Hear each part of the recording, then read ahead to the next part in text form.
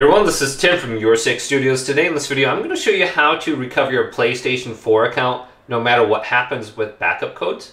So what we want to do uh, before we get hacked or something like that is go to settings, go to account management, go to account information. Now scroll on down under this page until we get to two-step verification.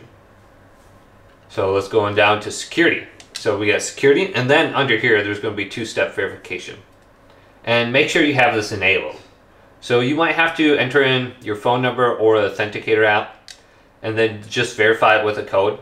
Once we have this enabled, we're going to have something under here called backup codes.